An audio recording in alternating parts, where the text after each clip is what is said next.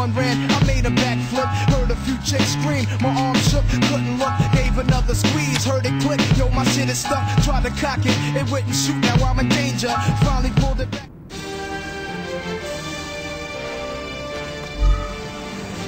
Chaos.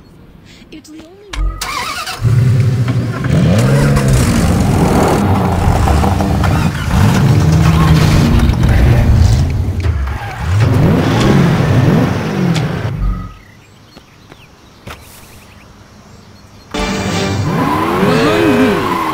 The broken husk of the Phillips building, once the proud, if not phallic, icon of Saints Row.